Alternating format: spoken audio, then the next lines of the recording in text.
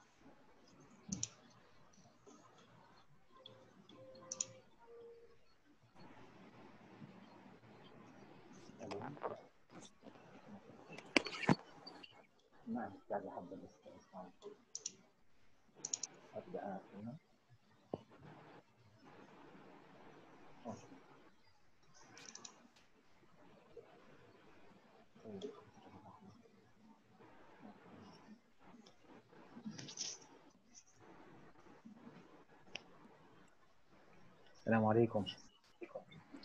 السلام ورحمة الله. ريدي أحمد والله uh, I'm trying to open it uh, أنا أعرف طالع عندكم الآن الآن طلع. عندي السلام عليكم. أيوه شايفينك كله شايفين ال...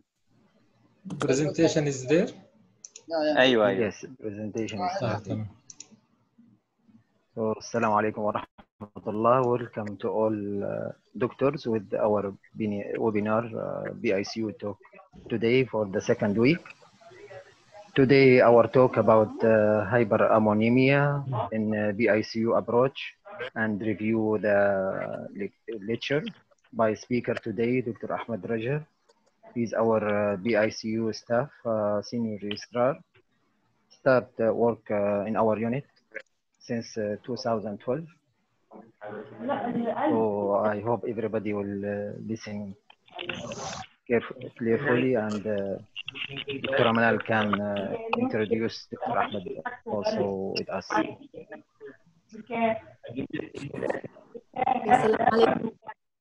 Can I just ask everybody please to can I please ask to please mute Mute their all. I, I will mute all. Okay, just mute everybody. Yeah, now please, Dr. Amanal, unmute yourself.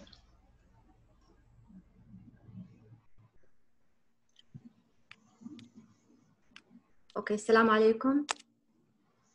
Thank you everybody for attending and uh, supporting the second um, webinar that we have from uh, the pediatric ICU at King uh, Fahd Armed Forces Hospital. Um, again, I'm just gonna uh, reintroduce Dr. Ahmad, but before doing so, uh, reminding everyone that this is a platform for middle grade doctors to share with us their experience, which is really is quite vast to help them um, uh, progress in their uh, careers and in their presentation and uh, research skills, inshallah. So without further ado, today we're going to talk about hyperammonemia, the concept of uh, what makes a patient with hyperammonemia become a uh, PICU candidate, and once in the PICU, what kind of treatments we have to offer them. Dr. Ahmad, as Dr. Shadi said, is a uh, senior uh, registrar in the pediatric ICU. He's been with us for many years. He's our lead and expert really in um, vascular access and in airway management. So Ahmad, I'll turn it over to you. Please keep yourselves muted, which you all are. But if there are any questions, choose the use the chat box to add uh, your questions, and we'll entertain them at the end. And we can unmute people at the end of your talk, Ahmad, as well. Thank you. Okay, good evening, everybody. Uh, thank you, Dr. Amanal, for this introduction. And uh, uh, thank you for all the attendee. Uh, the good thing for our uh, lecture today is that it is not related to the COVID. I think everybody is now is uh, don't like to hear anything about COVID. Okay, uh, as a pediatrician, if we have any patient with altered mental status, always it will attract our attention uh, and you will start to look for the cause for that, like infection, meningitis, or encephalitis, and uh, or trauma, or we will think in tox toxicology like paracetamol or uh, other drug uh, intoxication. But uh, we should keep in mind always that the poison from inside the patient own body is also one of the possibility that we should keep it in mind. One of the most important poison is the ammonia. That's what we will talk about, the hyperammonemia. Sorry. Hyperammonemia defined as excessive accumulation of ammonia in the blood, which result in moderate to severe neurological impairment and uh, cerebral edema. The ammonia level, which is more than 80 millimole per liter in newborn or more than 55, uh, sorry, micromole per liter in children, considered as hyperammonemia. And I think this uh, reading may change from center to center, but this is what's mostly uh, reliable in most of the centers. The ammonia it is coming from breakdown of proteins or amino acid metabolism and gut bacteria production.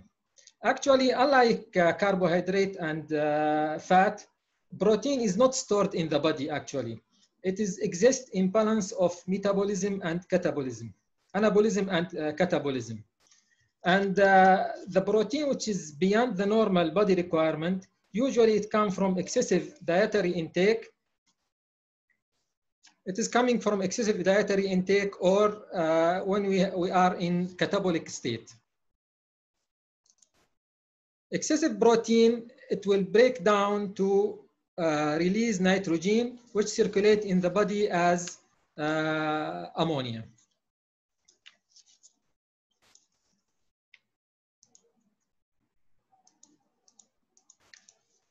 Okay, sorry, because there is many uh, thing, many people waiting to be admitted, and I am the host. I should admit them. Anyway. This uh, ammonia, most of the ammonia will be converted to urea uh, via urea cycle in hepatocyte. And uh, the remaining 10% will be converted to glutamate uh, to make glutamine by the glutamate synthetase, which is uh, present in many of uh, our body cells, but mostly in the astrocyte in the brain. This glutamine can be excreted in urine or can be used as energy source. We should keep in mind that ammonia is not a water soluble. That's why when we have uh, when we have increased production or decreased elimination, it will lead to excess ammonia and this ammonia will accumulate in the brain, lead to dysfunction.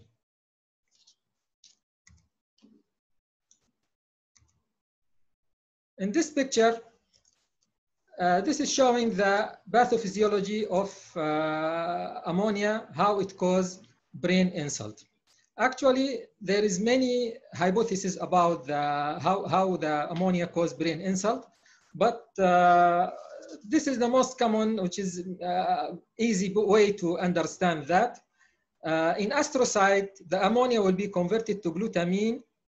The glutamate will be converted to glutamine by glutamate uh, synthetase. It is happening in the astrocyte. This glutamine is osmotic agent and therefore its accumulation will induce cellular swelling and cerebral edema. In other hand, ammonia itself, it is affecting the autoregulation and cause hypo, uh, hyperemia. Also, uh, these changes will increase the inflammatory cytokine re uh, release, and all of that will lead to permanent brain damage, which will be irreversible, sometimes maybe irreversible if the patient is lucky, and it will cause severe morbidity and mortality.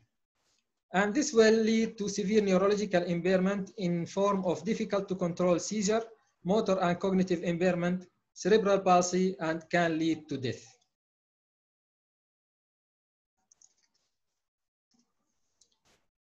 There is two factors determining the prognosis of neurological damage. First factor is the duration of hyperammonemic coma, and also the second factor is the plasma ammonia level. If the patient stayed in coma for more than three days, or the ammonia level reached more than 1,000, this, this is indicating poor prognostic for the, for the patient.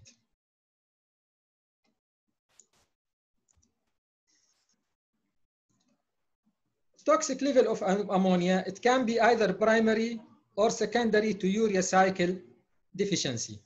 The primary deficiency means the urea cycle disease, which is congenital, but the secondary hyperammonemia can be due to inhibition of urea cycle enzyme, which can happen in other congenital metabolic abnormalities like uh, organic acidemia or uh, following the exposure to certain drug like valproic acid and in various liver disease.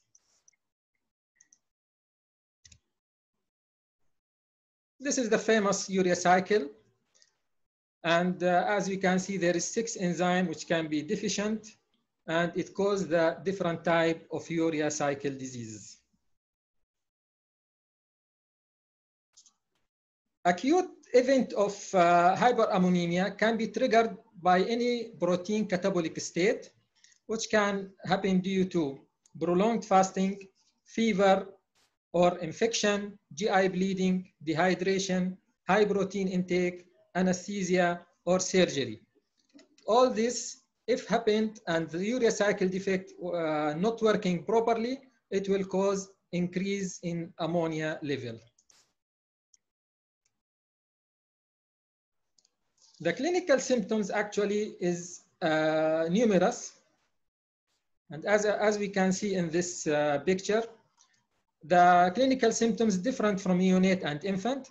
The neonate usually present as uh, non-specific sepsis-like uh, feature, like poor feeding and vomiting, lethargy, somnolence, irritability, and later on they will go to respiratory distress, tachypnea, and then to acute encephalopathy and seizure, and maybe to coma and multi-organ failure. But in infant and children, It, uh, the symptoms include digestive symptoms like nausea, vomiting, anorexia, and uh, protein intolerance, and neuropsychiatric uh, symptoms like behavioral changes, sleep uh, disorder, uh, aggressiveness, delirium, or delusion, and may uh, progress to uncontrolled seizure and may be common.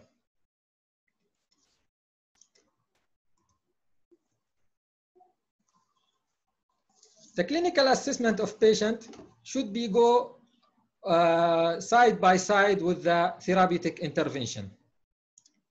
Because as we said, the degree and duration of uh, hyperammonemia directly correlate with the prognosis. So we should assess the cardiorespiratory and neurological and dehydration status of the patient and, and identify the potential precipitant for metabolic decompensation.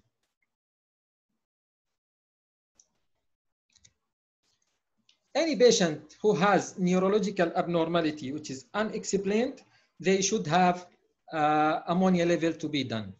Ammonia level seems to be easy, simple, but actually obtaining reliable result of ammonia is challenging also. Why? Because uh, we cannot uh, do uh, capillary sample. Hemolysis also can lead to false elevation. Delayed transport to lab can lead to false reading. So we should collect the sample without tourniquet and uh, the, the blood should be free flowing and we should run uh, directly to lab uh, on ice to do it uh, quickly. If the result is high, it is good idea to repeat the lab. But keep in mind, if it is high and hyperammonemia can explain the scenario, don't delay the treatment. Take a sample for repeat and start your management immediately. Pay attention for your pre-test probability of being hyperammonemia, as we said, can be due to delayed transport or hemolysis or other things. And uh, keep in mind also that mild elevation is not uncommon, but if it is very high level, you should not take it as a lab error.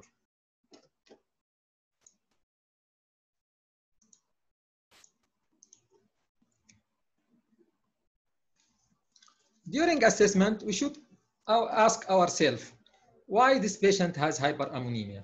The causes of hyperammonemia can be due to liver problem like viral infection, metabolic, toxic, vascular disease, autoimmune disease, anything that affect the, the liver, it can cause hyperammonemia. Or it can be due to urea cycle defect. Urea cycle defect actually account for almost one quarter of the cases of uh, hyperammonemia in critically ill children. And uh, organic aciduria also one of the causes and fatty acid oxidation defect.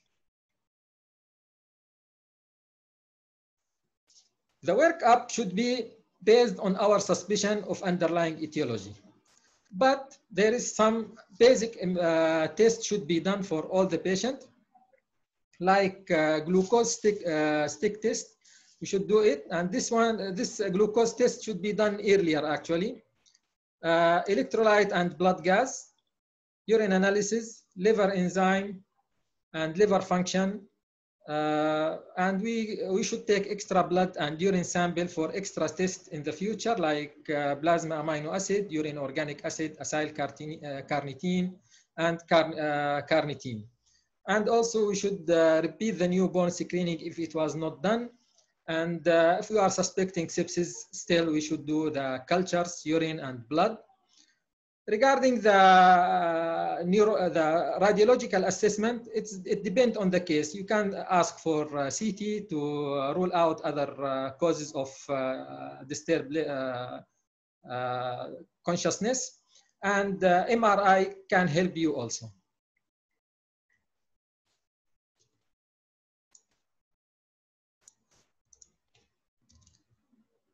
Now we will come to the management of hyperammonemia. The primary goal for management of hyperammonemia is to protect the brain and to lower the ammonia plasma level.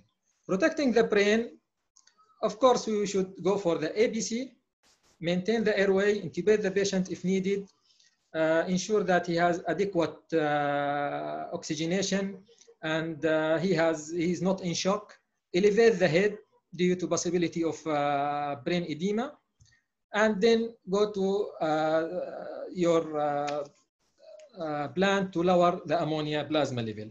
Lowering ammonia plasma level, it can be achieved by remove the waste nitrogen excretion and reverse the catabolic state and then provide good calorie and treat the underlying causes. Actually, management of uh, hyperammonemia in children is uh, challenging uh, because uh, the clinical symptoms is non-specific and uh, there is no, uh, the age-specific etiology is also not clear and there is no consensus in the treatment plan. That's why in April 2019, a work group guideline were discussed at the pediatric critical care nephrology and renal replacement therapy. And uh, these experts, they met and discussed and develop recommendation for management of patients with hyperammonemia or recommendation uh, done in basis of uh, case report and retrospective studies. And according to this uh, consensus, they reached to plan for uh, treatment for patients with hyperammonemia, as we can see in this diagram. This diagram uh, gave us step management for uh, patients with hyperammonemia.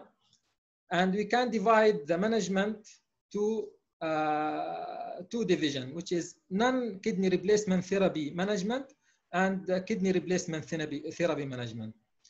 Uh, if, if the ammonia level less than 500, this is non-kidney replacement therapy management uh, guideline. More than 500, kidney re replacement uh, management therapy guideline. And they divide this uh, if the ammonia level just above the normal limit, or if it is from 100 to 500, and if it is more than 500. We will take it one by one. The non-kidney replacement uh, therapy guideline, we have some basic guideline. Number one, we should stop protein intake. But keep in mind that protein intake should not be stopped more than 40, 36 to 48 hours. Because if we stop it more than that, it will uh, cause catabolism again and it will uh, affect our management. Also, we should ensure good uh, caloric intake by giving the patient good glucose, plus minus insulin if needed, and give lipid. All this just to keep the patient in away from the catabolic status.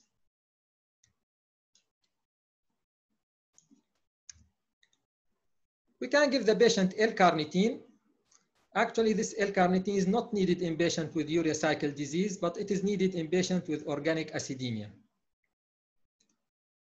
Also, uh, the urea cycle mediator, such as uh, L-arginine and uh, L-citrulline, can promote nitrogen excretion through the urea cycle. But keep in mind that arginine cannot be given in patient of uh, arginase deficiency. This is if uh, this guideline, what we mentioned, if the urea is just above the normal limit. But if it is from 100 to 200, we will go to the next step, which is the nitrogen scavenger. The nitrogen scavenger is useful for those with inborn error of metabolism. Uh, the most famous is the sodium benzoate, sodium phenyl acetate, and sodium uh, phenyl butyrate. As we can see here, the management plan for each one. Uh, the most uh, commonly used is the combination of sodium benzoate with sodium phenyl acetate, which is Ammonul. Uh, and uh, actually the uh, benzoate is will conjugate with glycine to form the uh, hippuric acid and sodium phenyl acetate conjugate with glutamine to form phenyl acetyl uh, glutamine. All this is uh, can be uh, excreted by urine. That's why it will help to get rid of the nitrogen product. Now, if the urea level more than 500, or if the level continue to rise after four hours of uh, nitrogen scavenger, then we should go for dialysis.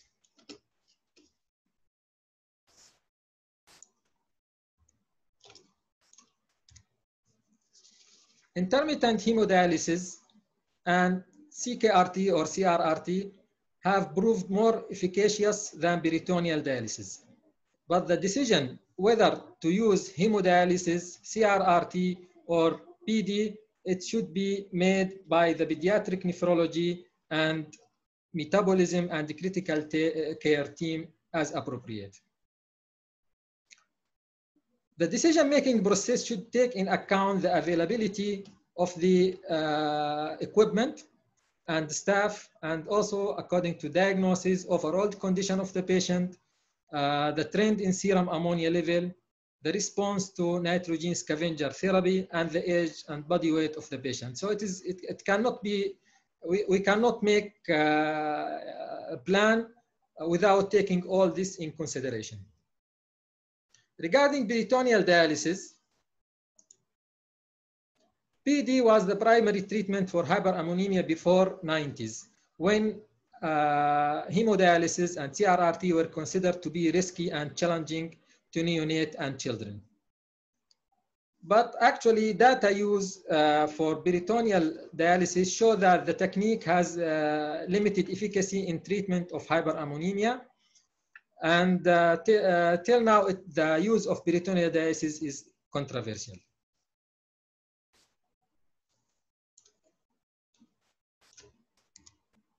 In 1976, case report of neonate with uh, aciduria, the BD was initiated on day four and resulted in uh, improvement in blood ammonia level from 432 micromole per liter to 176. But however, after this initial fall ammonia concentration, the BD failed to lower ammonia level uh, any further. But in our unit uh, last week, I think we have a patient with liver impairment and uh, his uh, urea was high, reached more uh, around 200. And uh, we just used for him peritoneal dialysis and it worked very nicely and it dropped the ammonia to less than 100, uh, I think within 36 hours. In a retrospective analysis of data from six Italian centers describing children and neonates with hyperammonemia treated with PD or hemodialysis, intermittent hemodialysis remove ammonia more rapidly than peritoneal dialysis, but no difference were observed in neurological sequelae and survival between patients who received BD and those who received hemodialysis. That's why the, the benefit of uh, hemodialysis only it can decrease uh, the hyperammonemia. It, it will decrease it more rapidly than peritoneal dialysis. The researcher recommended that peritoneal dialysis should be performed in situation when the extracorporeal therapy, which means the hemodialysis, are not available or unsafe. And hemodialysis should be performed in patients who have rapid rise in blood ammonia level. Because as we said, the, the prognosis depends on the duration and the uh, magnitude of uh, ammonia. Some centers, however, might lack the equipment to enable the use of other extracorporeal therapy, and peritoneal dialysis might remain the only treatment option.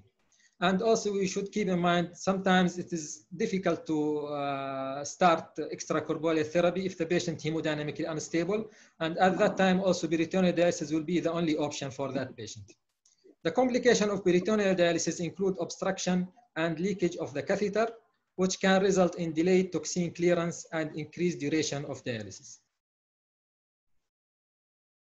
Regarding hemodialysis, patients treated with conventional hemodialysis had a significantly faster ammonium reduction rate at four hours when compared to continuous veno-venous hemodiafiltration.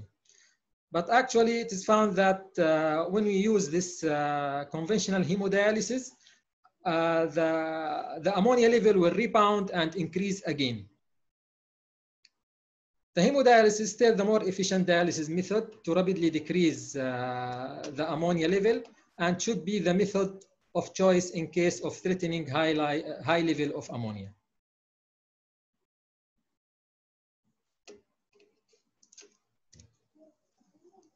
There is a risk of osmolarity shift with hemodialysis, especially in infant.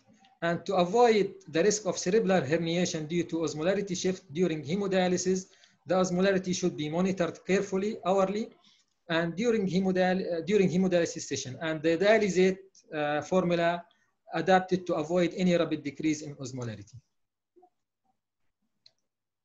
Regarding the CRRT, the introduction of CRRT, which includes CVVH and CVVHD, lead to improvement in the outcome of patients with hyperammonemia. And if we compare it to the hemodialysis, uh, the CRRT result in fewer cardiovascular complication and lower risk of rebound hyperammonemia. So the CRRT will decrease the ammonia level slower than the hemodialysis, but uh, the cardiovascular complication is less and there is no rebound in hyperammonemia. CVVHD is superior to conventional hemodialysis and peritoneal dialysis in infant, owing its ability to maintain hemodynamic stability by removing isotonic uh, fluid. And all forms of CRRT are safe and efficacious method for management of hyperammonemia. However, CVVHD enable a higher ammonia clearance than CVVH.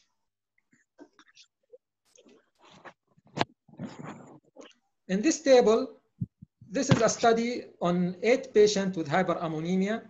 Uh, these eight patients, three of them treated with uh, continuous uh, arteriovenous hemodialysis, and three of them uh, treated with uh, continuous veno-venous hemodialysis, and two of them with uh, conventional hemodialysis. If we can see here, the most important difference between these three is the blood flow rate. In uh, CAVHD, the blood flow rate was uh, 8.3 ml per minute. And in CVVHD, it was 33 to 83 ml per minute. But in hemodialysis, the blood flow rate was 500. As, as we can see that the blood flow rate really is affecting the outcome because the uh, ammonia uh, filtration rate is uh, in hemodialysis was 95 to 96 percent but uh, it is less in CVVHD and more or less in uh, CAVHD.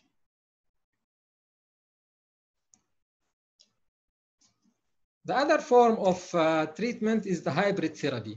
What we mean by hybrid therapy, uh, as we can see that uh, using hemodialysis or CRRT alone is effective in treating uh, to reduce the toxic ammonia level.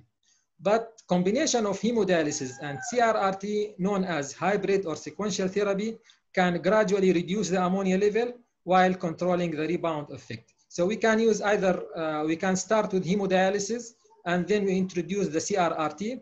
The hemodialysis will drop the ammonia rapidly and CRRT will, uh, will make continuous drop and will avoid uh, causing rebound.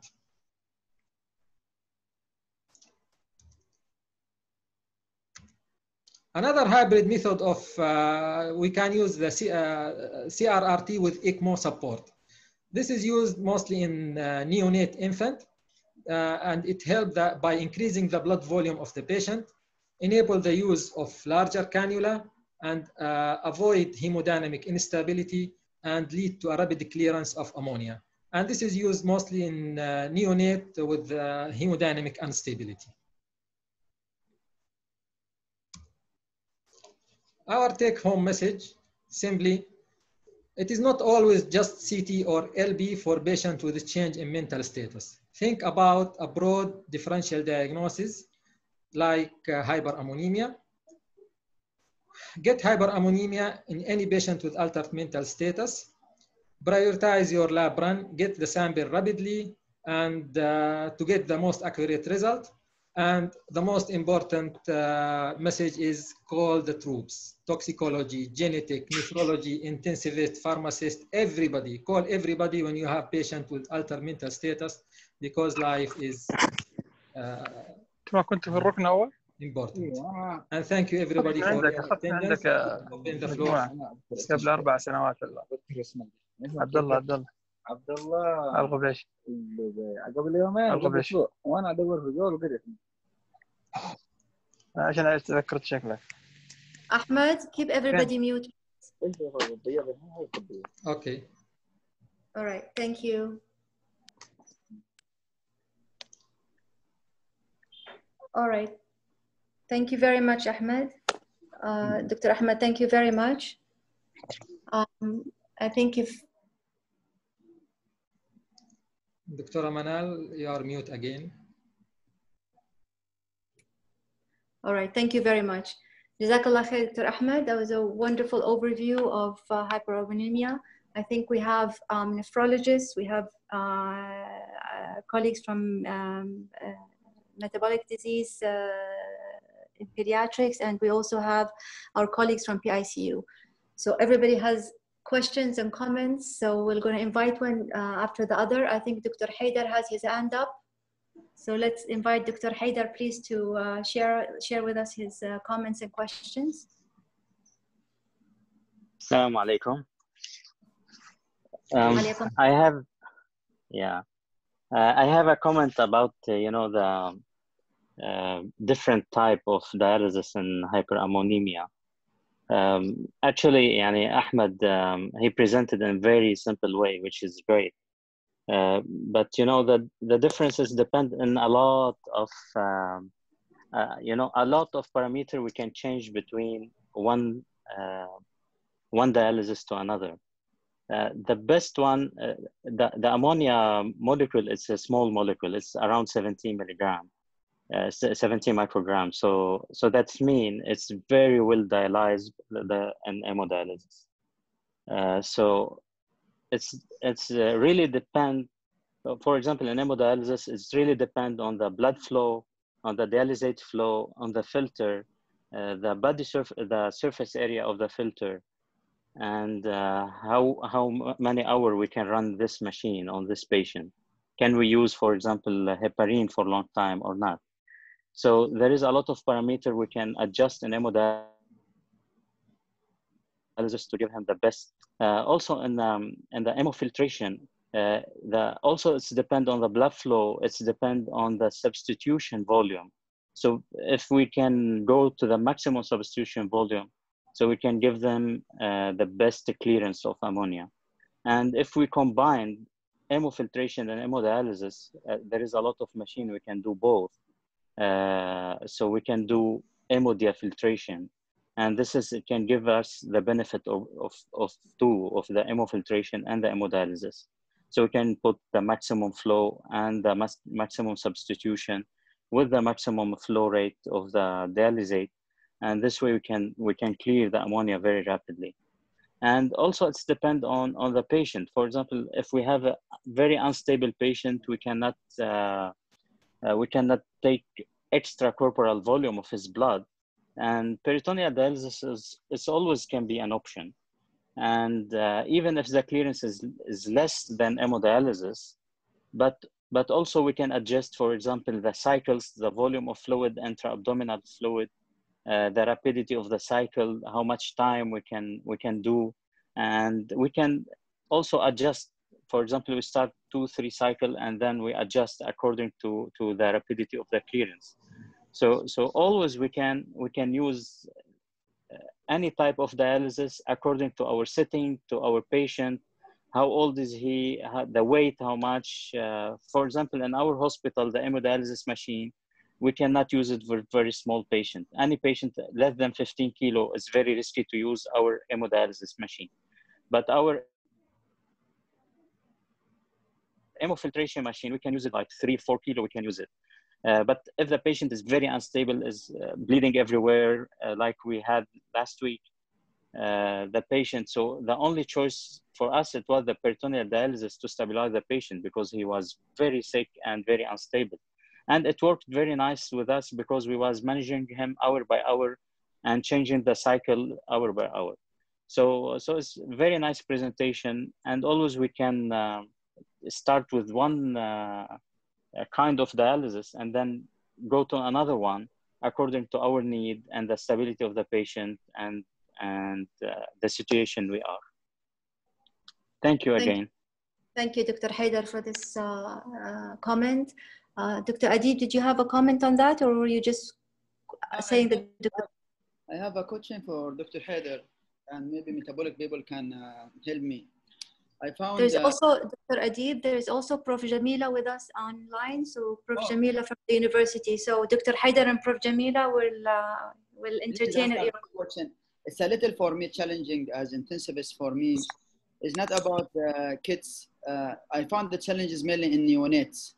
Those who present with urea cycle defect with weight of three to four. It's really time um, challenging, acute rising in the ammonia, and BD sometimes it takes time to start to work to get the surgeon in.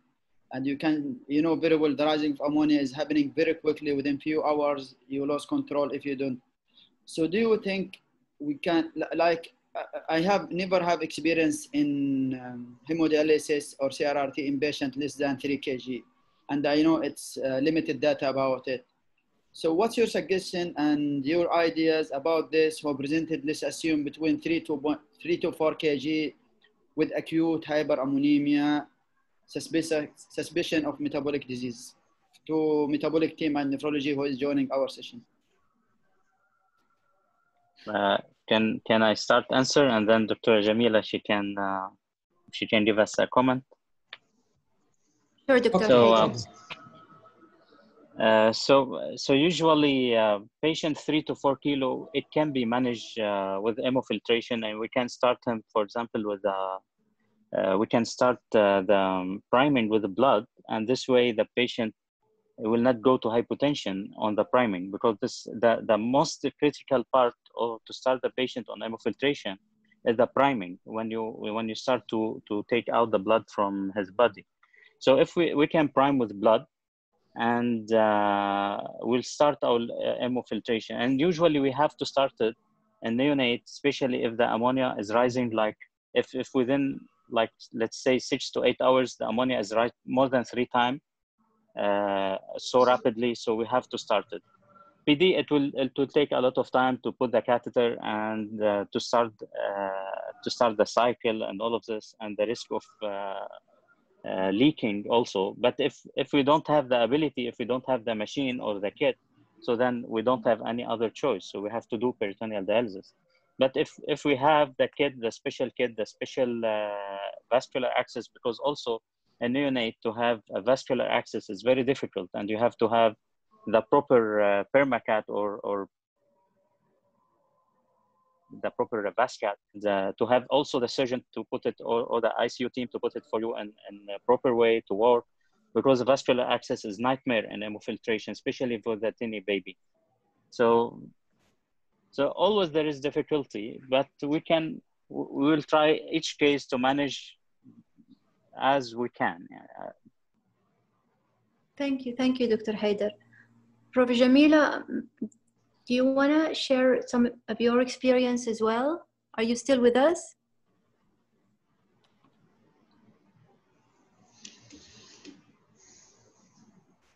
Hello? Not All right, sure if can- she's muted or not. Maybe, uh, we also have other people from the university. Um, I was just going, I was inviting Prof. Jamila to, to comment because there are, as you know, Dr. Haider, the, the new machines um, that are, that are, um, that are coming from Italy um, and they use them a lot um, for the really tiny babies for CRRT. But what Dr. Haider said was obviously uh, on spot, and you have to start with what you have, your tech, your technicalities, your facilities, and move on. Um, there's a question from the audience as well for our metabolic team. We've got Dr. Mail Malki from um, uh, our hospital, and we've got Dr. Tagreed on with us. So maybe they can help Dr. Ahmed with uh, with this question. The question was about fluid management. So the fluid management um, with hyperammonemia and the uh, question about uh, giving double maintenance. Is there um, one and a half maintenance, double maintenance? Are we, are we talking about uh, just trying to uh, clear out the fluid and what's the risk of brain edema in these patients? I think uh, we should uh, keep the patient well hydrated. This is the most important thing. And I will leave the stage for the metabolic. Maybe they will help us for that. Hello.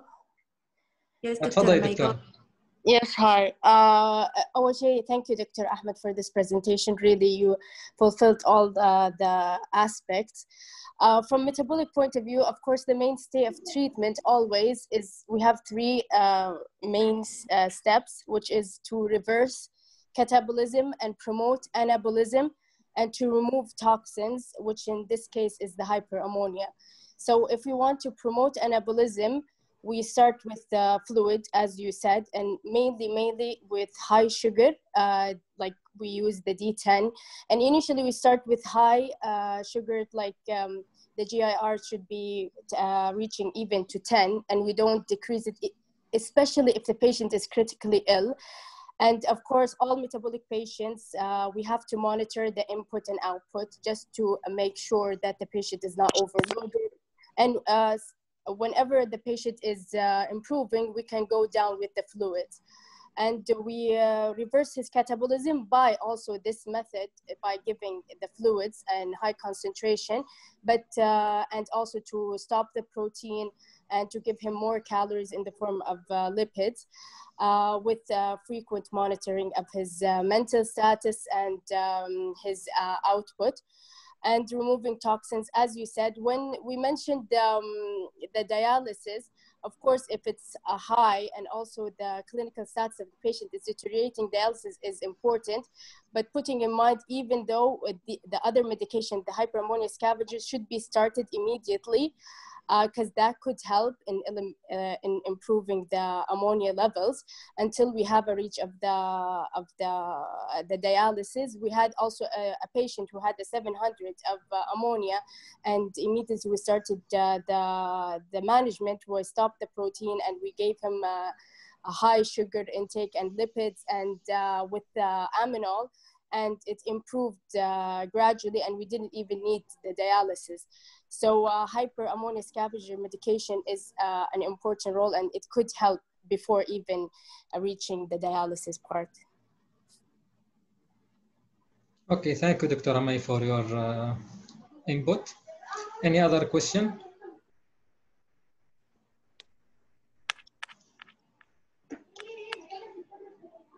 Dr. Tagreed, are you still with us? ايه نعم معكم السلام عليكم Dr. Tagreed Shoaib is a metabolic consultant from the King Abdulaziz University Hospital.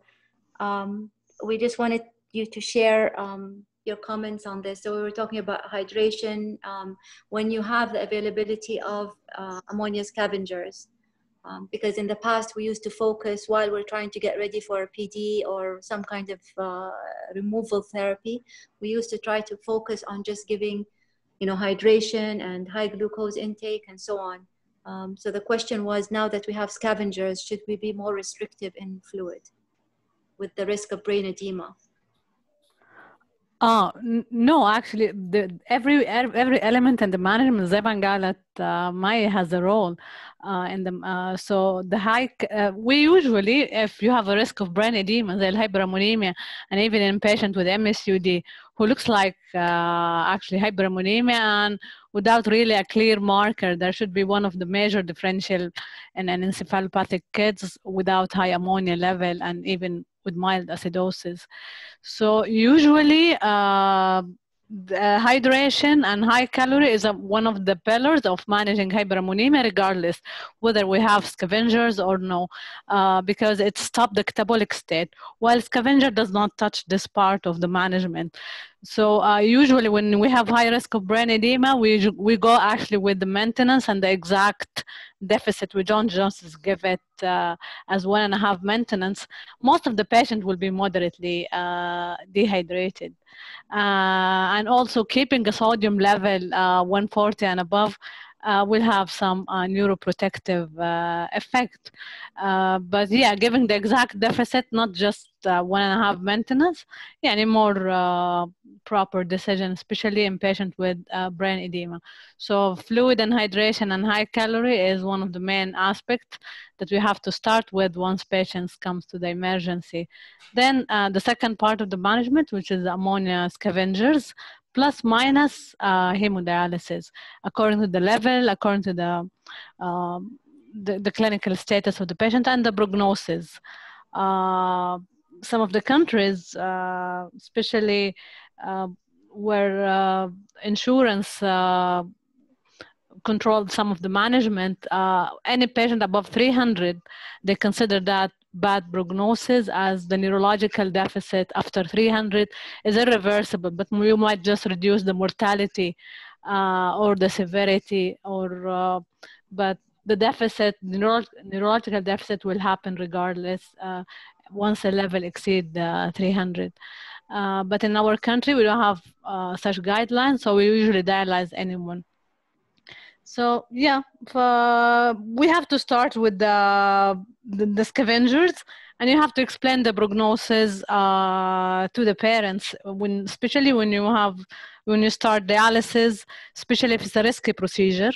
Uh, on a critically ill patient, uh, you have to explain to them that the prognosis of whoever reach a level uh, that exceed the 1,000 or 500, they will have bad neurological outcome, but we have to go for it. Yani. So at least yani, they know the risk uh, of the procedure, and if they agree to it, so whatever happens, yani, and it's, it's been already explained. Uh, yeah, I agree with everything mentioned about the medical management. طبعا في uh, one of the therapy مش carnitine. Carnitine does not do much actually in organic acidemia induced hyperammonemia. في drug uh, that called carglutamic acid. Carglutamic acid or carbaglu uh, it's uh, the, the first cofactor في اليوريا cycle اللي انت كاتبه ناج الاناسيتايل جلوتامات اناسيتايل جلوتامات حتى في ال في السكندري هايبرامونيميا especially if it's a dibakine induced uh, type especially patients with neurological deficits who use uh, high doses of dibakine so carglutamic acid actually initiate the cycle in cases of secondary uh, hyperammonemia, especially in the organic acidemia. So it's one of the therapy that, especially if you have severe metabolic acidosis, and the scenario goes more with secondary hyperammonemia of organic acidemia type, uh, carglutamic acid uh, is really helpful uh, to reduce ammonia level in addition to ammonia scavengers, but it has a magical effect when it really comes to uh, organic acidemia. It's available في السعودية and the company also uh, موجود لها branch في جدة uh, and it's oral therapy طبعا ما منها IV so you just give it uh, as a loading dose uh, tablets easily dissolve in water so you can just give it through NG or OG um, ف yeah and it's really effective. Then you can maintain it. Definitely regarding ammonia scavengers is you started as a loading and you keep you keep it on uh, regularly uh, six hourly eight hourly or continuous infusion as an Ammonul. Uh, so we don't just give it once يعني. Thank you very much. I think I'm uh, going to. Doctor Manal, can I ask one question? Okay. Okay. تفضل yeah. uh, good evening, everybody, and thank you, Dr. Ahmed. And thanks for Dr. Dagrida and Dr. May. Actually, my question is for them. So, um, are there any any studies um, regarding the outcome, neuro outcome for such patients, linking the level of uh, um, the uh, level of the ammonia to the outcome? I mean, the neurodevelopmental uh, states after that of the, the prognosis regarding the neuro neural function for such patients, like from from what because parents usually they are asking about the effects of the like 500, 700, 1000, 1000. I know Dr. Ghadagrid because I was not here. So I just like catch that you said like 1.1 thousand, 1, 1.5 thousands. And that the, the, the, the, the it might be just like even less than this, uh, still they might have some uh, like neuro, uh, bad neurodevelopmental effects of the ammonia. I think Dr. Tagrit answered this question that if the ammonia level more than 300, it, uh, it carry poor prognosis. But uh, in the literature, it is written that uh, 1,000 is, if it reach 1,000, it carry bad prognosis. طيب إيه بخصوص النيورولوجيكال اوتكم طبعا they talk about uh, an outcome of, in regards to school performance and their IQ level. Uh, so this is the outcome that they usually look at. So majority actually طبعا هي ما تعتمد على single factor طبعا you can't just talk about a single event you talk about a continuous disease process disease control if you still continue to have recurrent hyperammonemia so uh, طبعا بس if you would like just to predict from a single uh, event which is the neonatal uh, type طبعا neonatal brain is very uh, sensitive so uh, in regard to the neonatal type of hyperammonemia, yes, they said whatever ammonia level that exceeds 300, it's associated with poor neurological outcome in regard to IQ level, uh, school performance. Uh, so these are the things that they look at. So that's why they said you don't have to go for dialysis if the level, if you're aiming to protect the brain. So dialysis, the main aim for dialysis is protection uh, for the brain. So if if you exceed the level of 300 خلاص you lost this uh, chance so uh, بس طبعا ال prognosis when you discuss this with parents we, we tell them that uh, disease control uh, the frequency of hyperammonemia later on uh, will really uh, decide about the, their future uh, neurological outcome and regardless they even they studied so many patients with urea cycle even with good disease uh, control uh, some of them they will still have uh, cognitive impairment uh, because the pathophysiology of the disease is not only about high ammonia level uh, زي ما قال دكتور أحمد الجلوتامين in the blood play a major role in neurological symptoms in patients with hyperammonemia because high ammonia will be converted to glutamine uh, so uh, the process of converting uh, the glutamine ammonia to glutamine is by binding the glutamate to ammonia, and the glutamate is actually the precursor for GABA in the brain. Uh, so we'll consume the glutamate, so we reduce the GABA in the brain. And this process of converting uh, ammonia to glutamine is energy consuming uh, process. So that's what caused the brain injury. Uh, we have so many patients يمكن ماي كمان عندها حالات شبه دي they come to the ER and we know that they're urea cycle patient and they come with normal ammonia level and with the neurological symptoms of a classical hyperammonemia so this is secondary to high glutamine not to high ammonia level so yeah and so the decision uh, of neurological outcome yeah you could predict it from the first neonatal event but then still you have to follow them and and, and see uh, how their disease uh, is controlled. And that's why even in the clinic, uh, it's good to monitor glutamine level, not ammonia level. And دايما اقول للستودنت والريزيدنت عندنا glutamine زي الهيموجلوبين A1C تبع الديابيتك. Uh, we monitor ammonia by glutamine, not by uh, ammonia level. Ammonia زي الجلوكوز وglutamine زي الهيموجلوبين A1C. So it tells you about the disease control and even the neurological status because uh, it will accumulate in the brain. شكرا maybe May has any additional comment thank you very much May عندك anything else to add حبيبتي no I don't have thank you very much thank you Dr.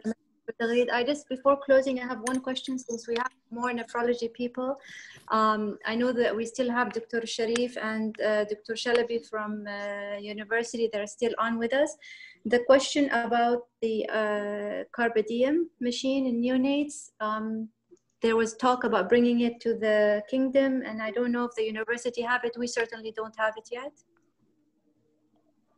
So the Carpe machine is a machine that can be used in neonates and you can get in there if you have the access. And it's something that people have been using to push boundaries further and further. Um, so something to something to look forward to. Uh, Dr. Riham, Dr. Maha are with us also. Uh, I don't know if any of you have it. Dr. Hello? There was a lot of yeah there was a lot of presentation about this machine especially in the last uh, uh, meetings done uh, with uh, the international pediatric nephrology association. And it seems like it's very good it's very and this is the italian group who started uh, this machines. And uh, they presented very good uh, results uh, and the patient was stable and they use it for very tiny patient like two kilo and less uh, but um, I don't know if we can get it early here or uh, sometimes soon. I don't know. But, but it's looked like a very good machine and um, giving a very good result. Uh, so um, we'll see if we can get it or not, or, or some somewhere in the kingdom they can get it. Thank you, Dr. Haidar. Dr. Shalabi, you wanted to comment? السلام عليكم السلام Uh, thank you, Dr. Ahmad, Dr. Mena, for this for nice presentation. Uh, uh, we started in the University Prof. Jamila starting the communications with the company and also the NICU team. So we are preparing ourselves, inshallah, to uh, to use this machine or to to start to use the machine. but now we are we are in the process of uh, preparing ourselves regarding the uh, facilities, regarding the line, all issues before starting. Inshallah. But I think, uh, inshallah, in short time we will we will have this machine. Inshallah. I, I think it's nice to push boundaries um, whenever you have them. I know PD in the past, um, there's a comment that Dr. Tagreed made, and I definitely know that when we were still very, very young residents, um, when the metabolic patients are, are bad and we didn't have metabolic consultants in Jeddah at all, they really used to die. But now the, you have specialists that are able, you have the scavengers, you have lots of treatment, and we have CRRT and we have PD, so we, we can get in there early and do it. So with this new machine coming in, uh, it really is hope that maybe you can even save those who are pro- progressing faster if we, if we all work together. Thank you very much. That's all I have. I don't know if anyone else has any more comments. Otherwise, we're going to close and say thank you to Dr. Ahmad for all the effort and thank you for all the attendees. We had about 56 at one point that I saw the last time I checked, 56 attendees today. So well done everyone and thank you very much. Okay, we'll thank you everybody for your attendance and see you later inshallah, next week inshallah.